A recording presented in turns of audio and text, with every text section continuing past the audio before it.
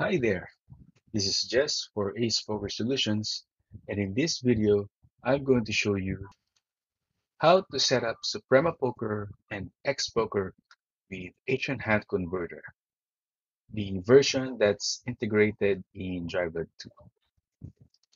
This is actually pretty straightforward. Uh, there shouldn't be any additional setup, so let me go ahead and show you. First, let's open DriveHUD 2 and click on apps, click on installed apps, and there you'll see Asian Hand Converter. Click on the green launch button,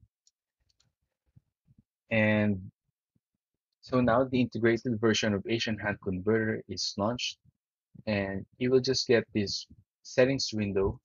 Just make sure that X Poker and Suprema Poker, whichever one uh, you're using or playing with, are both checked. Um, they are checked by default, so as long as your license is active, there shouldn't be any additional setup needed on your side. Once that's set up, or rather once you've checked that, then you're all set and you can load up your poker client and start using Asian Hand Converter.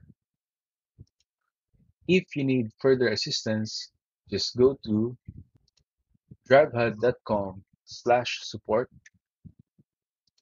and scroll down to the support form over here, fill up the details, send it to us, and someone from our team will get back to you. Thank you for watching and good luck at the tables.